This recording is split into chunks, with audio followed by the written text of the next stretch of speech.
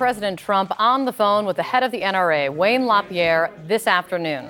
Trump's message, according to The Atlantic, universal background checks are off the table, though some White House officials are pushing back on that. The president publicly supported background checks and the expanded background checks in the days after the mass shootings in El Paso and Dayton that killed 31 people. But tonight, CNN is learning folks in the White House, from Capitol Hill, and outside groups have all been pressuring the president to turn away.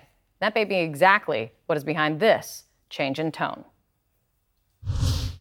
We have very, very strong background checks right now but we have uh, sort of missing areas and areas that don't complete the whole circle. And we're looking at different things. And I have to tell you that it is a mental problem. And I've said it a hundred times it's not the gun that pulls the trigger, it's the person that pulls the trigger. Out front now, Rob Astorino, member of President Trump's 2020 Reelection Advisory Council, and Aisha Moodie-Mills, Democratic strategist and CNN political commentator. Thank you guys for being here. Rob, is the president caving to the NRA? No, I think it's typical. Any president, like President Obama, would talk to Planned Parenthood when an abortion issue came up. This is advocacy. And there are 5 million people that are members of the NRA, many more millions, tens of millions, who are gun owners who are not members of the NRA uh, who have serious concerns about where we might go. The slippery slope is a real issue. It's not even hidden anymore because the Democrats, just even a couple of years ago, were saying, no, we're not coming after your guns.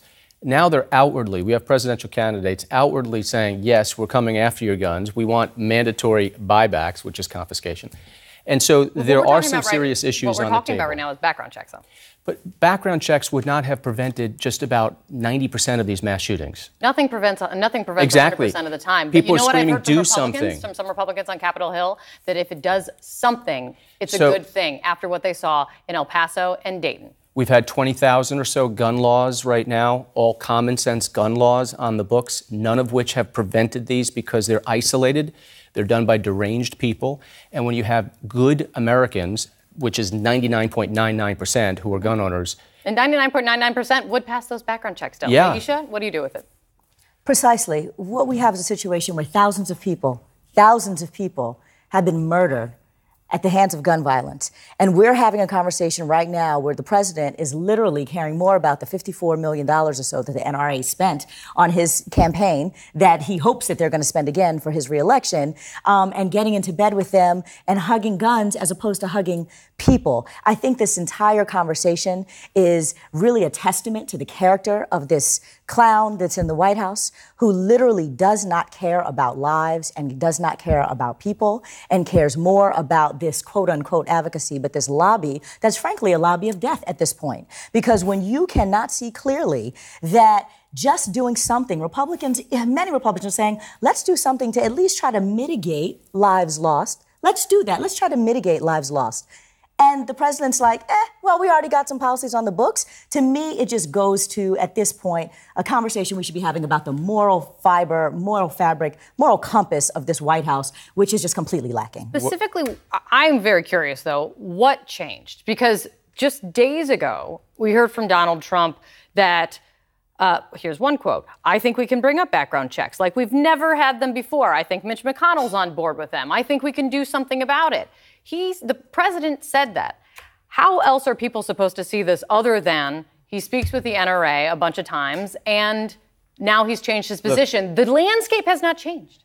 The only thing that we've that, that, this is the only thing that we've seen change. Well, the landscape in 2009 when no, no, the Dem- talk about I'm talking about right now. No, talk about right now. Stay here. Stay today. We're talking know, about you know, today. Because you just said about. it's it's a death lobby and Republicans are gripping.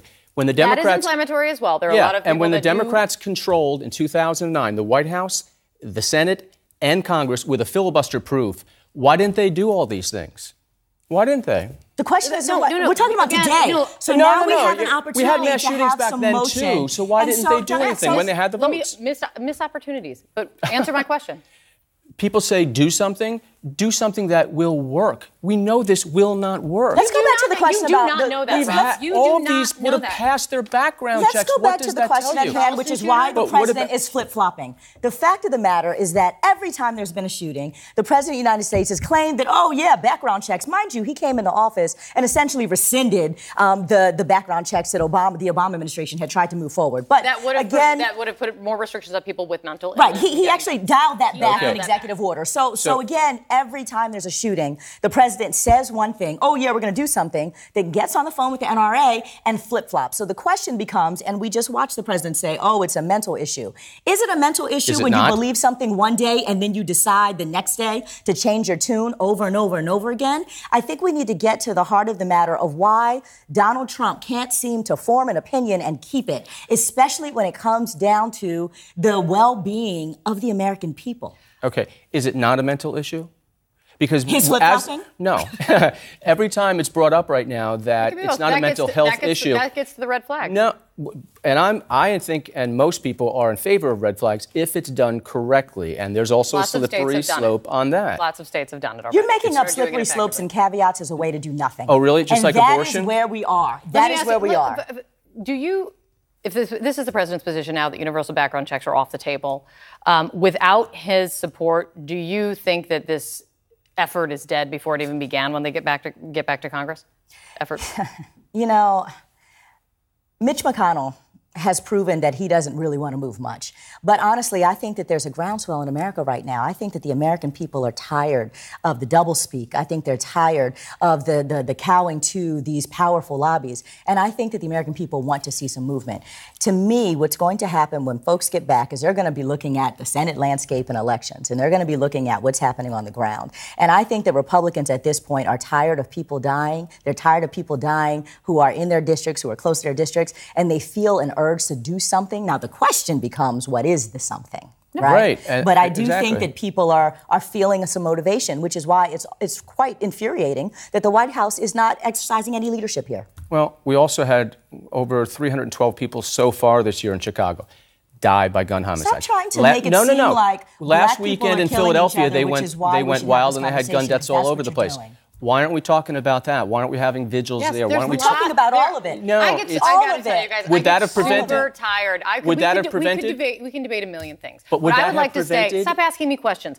Well, I'm going to ask the question. I get really tired when I ask a question. You guys, you guys keep trying to change it to another topic. We can talk about Chicago tomorrow. Right now, I'm talking about how, the, how President Trump has backed down from something that he promised He didn't and something promise. that he wanted, suggested. and not even close to suggested. We can get it, and he says Mitch McConnell wanted it. If he was making that up, maybe. But that's what I'm asking right now: is if he's changing his position, why he's doing it instead of instead of talking about Chicago. No, that's what I want. because it's all tied in. It's all tied in.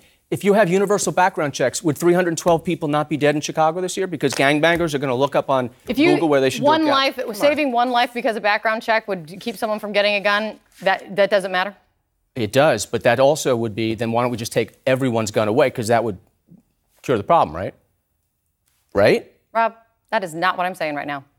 One death not would be what I'm saved. saying right One death would be Everyone will saved if we took away here's every the thing. I hope We the can fight about NRA it is in paying you well because you They're guys not sit paying here me and you at parrot all. these talking points. They're not paying me And the reality all. is, is that I haven't heard you once express any empathy for the Of people who I are do. victims of gun violence. I just brought up people in Not Chicago and Philadelphia, and of course- not once suggesting that we should I do will- anything to figure We out should. how to We should. stop gun violence. But every in time mental illness is brought up, the left goes, "Oh no, no, no." That's not true. It was oh, actually absolutely. the left that has talked American so much Psychological about Association's come out illness. against it.